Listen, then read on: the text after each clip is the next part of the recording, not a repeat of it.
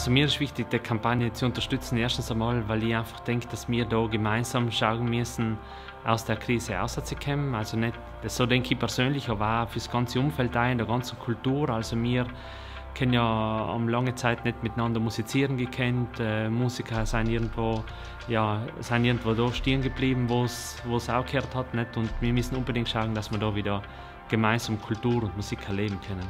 Ja, für mich ist das Zeichen äh, so quasi auch wie ein Lächeln. Wenn wir alle die auch haben, dann sieht man eigentlich nicht, wie die Reaktion von jemand anders ist. Also ist es wirklich als ein Lächeln, was uns alle momentan fehlt.